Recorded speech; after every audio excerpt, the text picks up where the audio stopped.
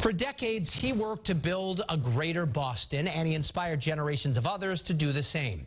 Tonight, the community came together to mourn and remember Mel King, an activist and a political force who empowered people from all walks of life. WBZ's Kristina Rex takes us to tonight's Communities of Color event, where King's legacy was celebrated.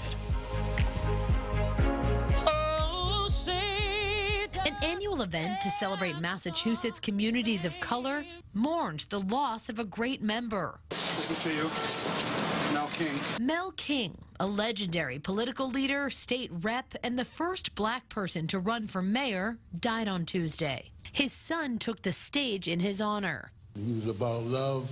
He was about being speaking truth to power.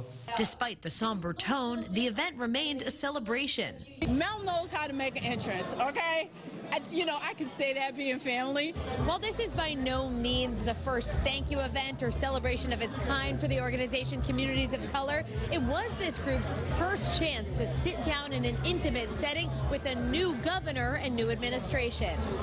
There was a generation that laid that foundation for us.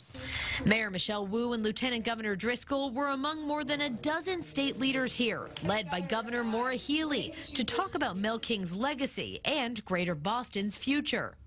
His vision, his ability to see what was possible when so many said that was impossible. The event was hosted by WBZ's own Tiffany Chan and Paul Burton. From the youngest members ages. The focus was on how to take King's message forward. He was always a man of the people, and so that's what I always do a takeaway in terms of politics. No matter how high you get or how deep you go, always be a person of the community. In Roxbury, Kristina Rex, WBZ News.